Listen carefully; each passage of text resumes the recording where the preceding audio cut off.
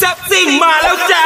วันเสาร์ที่ 24 มิถุนายนนี้ 6 โมงเย็นที่สนามหน้าที่ว่าการอำเภอกันทรารมย์ จังหวัดศรีสะเกษช่องที่สิบร่วมสืบสานมรดกภูมิปัญญาศิลปวัฒนธรรมอีสานจัดอภิมหาคอนเสิร์ตหมอลำคาร์นิว้าวที่สุดในประเทศกับคอนเสิร์ตแซ่บซิ่งอีสานตลาดแตกหมอลำคาร์นิว้าวเรื่อ